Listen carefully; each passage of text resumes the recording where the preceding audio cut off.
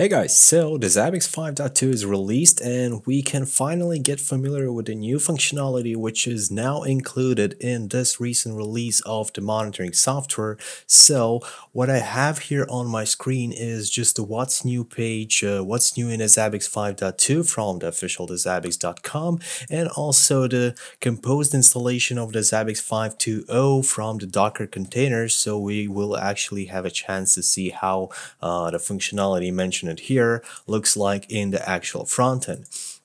And uh, the first thing that we're going to talk about is the synthetic monitoring. So this functionality enables the scripted scenarios for complex data collection and reliable multi-step availability monitoring. So as we can see on the script, we're talking about items. And uh, as there is highlighted, there is a new item type called script. So when we talk about items, we immediately think about a templates or about a host. In this case, I will use my Zabbix server host. So if we're creating a new item, then uh, we need to choose from the monitoring type, right? Like how we're going to get the data, will going to be through the agent or SNMP. So there is a new type added script, which is uh, in terms of uh, most of the parameters, it is just a regular item, so you need to define some sort of the name, uh, key, which in this case will be just a placeholder, parameters that you can use, and the most important part is the script. So this parameter is the one where you can write your own JavaScript which this item will use to gather some sort of the data. So instead of simple like uh, connect to uh, web service API endpoint and gather some data, we can actually uh, script some more complex scenario where our item will be first of all connecting to one web service, using the authentication, gathering some sort of the token, and then connecting to some other web service by using the token that we gathered in a step one and doing authentication once again and actually acquiring the data. And so, yeah, a new, very flexible way how you can monitor your web services and API ed- endpoints, and then just like usually process it with uh, the triggers, so inform about the problems or visualize the data in your uh, dashboards or the graphs. So, what else of functionality do we have? We have a Zabbix Insights, and these are the new trigger functions like which will allow you to get most of your history data, a new set of the trigger functions that enables a long-term data analysis and allows to create powerful insight like detect anomalies and a system misbehavior. So basically, instead of just uh, analyzing, let's say, last five values were average within five minutes or just one single latest value, we will be comparing multiple periods of time and also the history. Like you might be thinking that uh, wait, but analyzing the history like uh, in a larger periods will affect the performance wise, but wait, these trigger functions actually work with the trend data, not with the history data from the past. So now you can get a smart alerts about detected anomalies such as total amount of the network traffic increased by 28% in the September, amount of new user registrations decreased by 12% last week. And then like you have you have open hands so you can decide how you want to use use these uh, new trigger functions. You can monitor like KPIs of your company and uh, other stuff. So decision is up to you. Uh, storage of secrets in the external vault, which is absolutely huge. Like uh, in the regards of the Zabbix previously, we a lot of times talked about the security, and yes, there is always some attempts to improve the security, but at the same time, you know, of those things like uh, the database configuration parameters, uh, sorry, not the configuration, but authentication parameters is username, password, and a DB host was stored just in the configuration file of the Zabbix server, which is just a plain text and accessible by the Zabbix user. And also sometimes in the front end, like if we are using some sort of the SSH uh, items or could be the same SNMP or whatever else, we must provide some sort of the passwords and uh, sensitive information that we want to hide from some unwanted eyes. So starting with the Zabbix 5.2, the integration with HashiCorp Vault is enabled, which allows you to securely keep all of your secrets and make sure that no bad eyes will see those passwords. So first of all, in the front end, like when you did all the configuration with the HashiCorp and you of course need to configure it on your own, then as you can see when there is uh, first time configuration wizard of your front end you can provide all the uh, you can first of all choose that you want to store the credentials in the HashiCorp vault and then provide all the endpoint path and authentication token for the HashiCorp.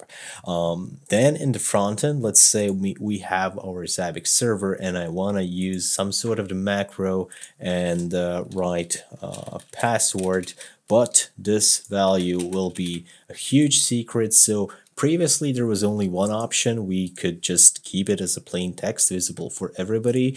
Then recently in a 5.0, we added a secret text, which basically masks it, but still in the database, it, it has actual values. And if you get a date, uh, access to the database, you can read the value of this macro.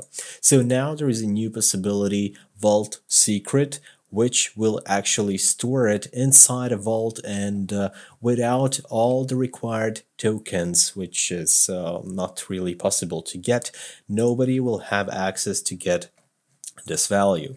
And the same applies also to the configuration files like um, yeah, fine-grained control tokens, passwords, uh, usernames, and other stuff. So it is also possible to uh, store um, store information from your configuration files as a DB password and a DB user in a HashiCorp vault. So now by using all the new functionalities with a HashiCorp, with encryption, um, encryption to the database, you can make your Zabbix really secure. But keep in mind, this comes only in the Zabbix 5.2.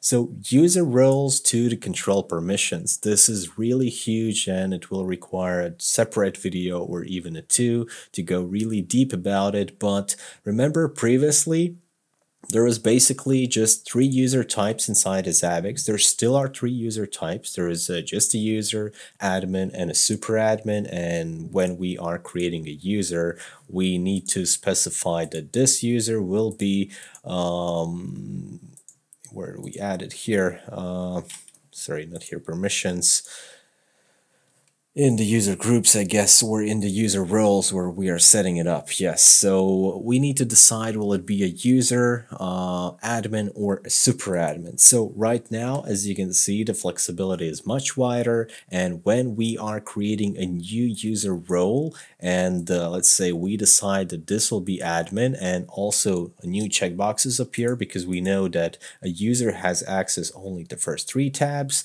admin also to the configuration, and a super admin also to the administration.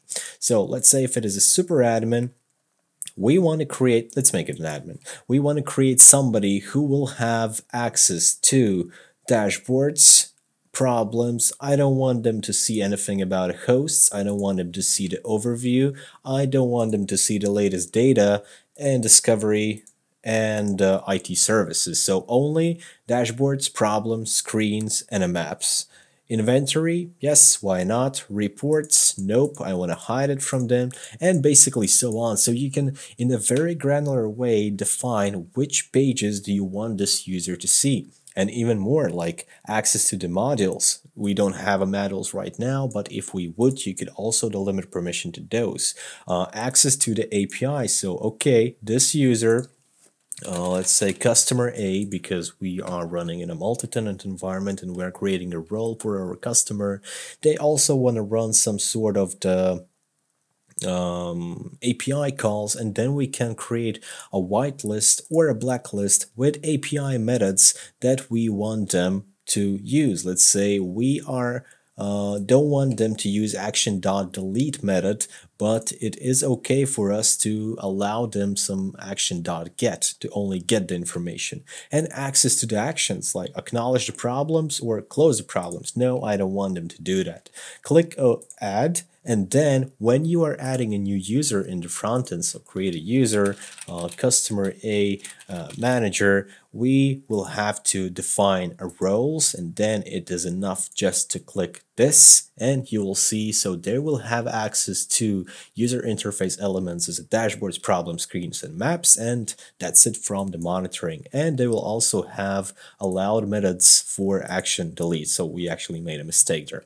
And add that's it basically. But yeah we also of course need to add uh, all the other required parameters. So this new functionality with the user roles gives you really granular functionality to create um, permission system for the enterprise, for the multi-tenant environment, for your customers that might be using also your front end in a really, really granular way. So this is awesome monitoring of IoT and industrial equipment. So starting since the Zabbix 5.2, the support of MQTT, the most common IoT protocol for the sensors and industrial equipment, and also uh, Modbus protocol is supported. So MQTT and a Modbus as a native functionality starting since the Zabbix 5.2 by using the Zabbix agent or the Zabbix agent 2, so the new uh, agent based on the Go language natively want to monitor your sensors or IoT,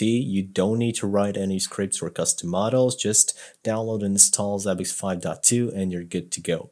Load balancing for user interface and API. So previously it was kind of possible. You could install multiple front ends, but on your load balancer, you always uh, had to make sure that the session persistence is turned on because there is that tied thing to the session ID which is no longer a problem. So you can properly balance all of your traffics from your web interfaces to multiple frontends and make sure that the load is distributed and your frontend is not, um, let's say, struggling performance-wise. Create a custom views. So this picture, you see here in the hosts, monitoring hosts, there is a new stuff in the front end. So how it looks like, it's not available in the configuration, so everything is just as it was in the reports, but in the monitoring, let's say problems, there is a home button. And what it is, so you see there is also a new button save us. So in a large environments, we can have hundreds, thousands of the hosts, host groups, and different sort of the filters. And let's be honest, like every time when you need to log into the front end and apply some sort of the complex filter, it is a bit of pain to do it every time. So now we can do like filter on a Zabbix servers and add some different filtering like uh, tags, uh, I don't know, interface uh, one, whatever else, and do all the other filters, save it as customer A uh, view. Uh, show number of records if you want to change it, set custom time period, save, and then we go. We get another view for a custom view, and then we can switch between these views, and that's it. Want to add another one? Sure, no problem. Just add another filtering for the Zabbix server. Application will be MySQL and uh, host inventory, alias, uh, whatever. Save us, and this is going to be customer B. Save, and there we go. So now we have customer A view and customer B, and it will be much easier to navigate across all of your filters.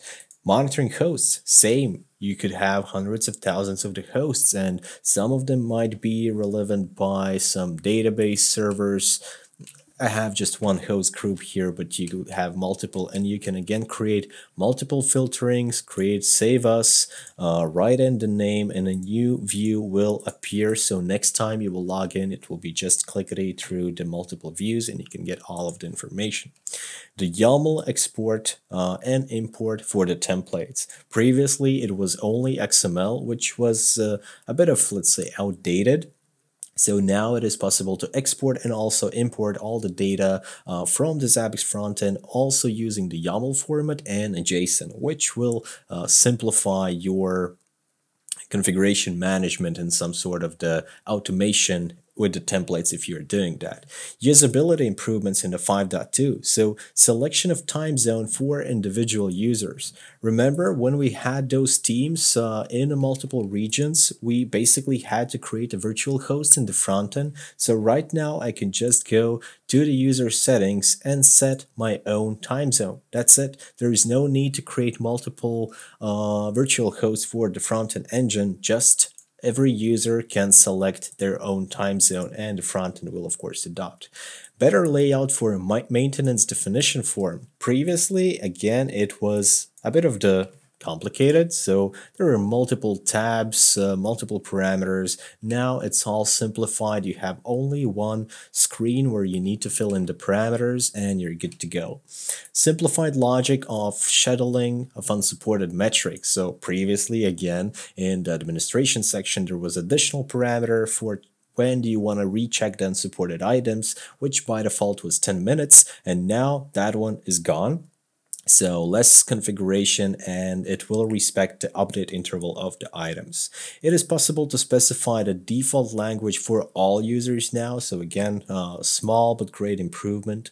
List of dashboards shows clearly what dashboards are created by me and their sharing options. So if you have a lot of the dashboards, there won't be any problems like messing around who created which one and who edited something where they should not do. Ability to specify SNMP attributes when testing uh, metrics. Again, in the 5.0, uh, the testing was already there, but uh, if we talk about SNMP items, uh, I probably don't have it here, so I'll create something SNMP, SNMP agent, yeah, we need to create an interface, uh, add SNMP, v2, SNMP community, yes, whatever, uh, items, create a new one, test, SNMP agent, where it is here, so some sort of the key, and some sort of the OID, so then I can just click add and find my item called test and there we go. So now we can again click on the test and you see we can actually write in the community name which we previously could not. And if it's going to be a SNMPv3 then again we can write in the context name security name security level and all of the required stuff. So this thing is finally fixed in a 5.2 release. Ability to handle unsupported metrics in a special way in a pre-processing so optimization improvements templated screens are converted to templated dashboards. So on the host level there are no more screens Template names were shortened and simplified, so just a naming convention in the templates, uh, which is much more straightforward and easier to understand now. Built-in integration with the alerting system, so Zabbix keeps adding a new webhooks for uh, your media types, so you can go to administration media types and you see quite a wide list of uh, out-of-the-box supported media types that you can use. As example the pushover or the slack uh, mattermost uh, jira email simple one and a lot of the other things. So this list keeps growing. Built-in integrations with itsm systems uh, new and updated templates and plugins. So also there are new templates like the redis cache mysql nginx ha proxy oracle php fpm squid uh, and also the asterisk. So great features. You choose deploy on-premise or in the cloud. So right now there are also the cloud images available in uh, I don't even remember all the clouds. So, oh, right. So uh, for the physical, you can use these uh, distributions for the clouds, AWS, uh, Azure, Oracle, Docker, uh, OpenShift, a lot of functionalities how you can actually deploy it. More newly developed and improved features of the 5.2. So a lot of the minor things, right, like the maximal length of the user macro values was increased to 2048 bytes. Active Zabbix agent may now report data for the multiple hosts, which is kind of small improvement, but still will help a lot in the big environments. And uh, yeah, so don't wait anymore. Discover the Zabbix 5.2 now. Upgrade your existing instance or just uh, install a development environment. So install it in the dev and uh, just go ahead and play with the new features. And if you want to see these videos more, if you want to see some deeper explanation about some of these uh, new features or how to upgrade to the Zabbix 5.2, just uh, click the subscribe button, click the like button if you want to help me out and uh, leave some sort of the comments and we'll definitely see you again in some uh, next video. So thank you for watching and I hope that you're going to really like the new release of the Zabbix 5.2. Goodbye.